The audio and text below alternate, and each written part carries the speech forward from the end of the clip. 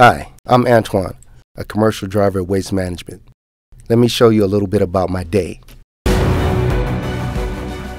We get our day started early going long, starting as early as 3 or 4 a.m. and working 10 to 12 hour shifts.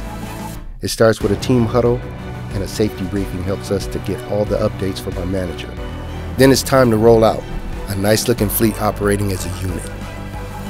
The trucks we drive vary from commercial, roll off, residential, but every driver always starts with a pre trip vehicle inspection. It's not only important for DOT regulations, but our customers are counting on us to be there to service them, to be reliable. We are the public face of waste management. Safety is our number one priority. We are held to the highest standards every day. If you are not into safety, this is not the company for you. We have some great technology in the cabs. Onboard computers guide our day and help to capture customer information.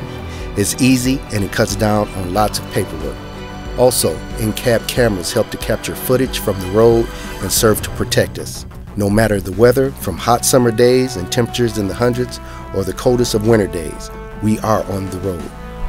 It's difficult work.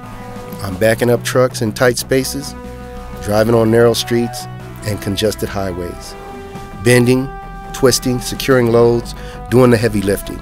This is a physically demanding job. Great mentoring and coaching has helped me and my fellow teammates become the best in our industry. We are out for a common mission to look after our customers. We earn respect.